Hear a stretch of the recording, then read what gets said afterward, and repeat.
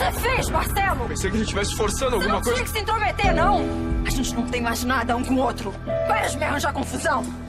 Você tá bem? Lorde. Ah. Desculpa. Eu entendi tudo errado, perdi o controle.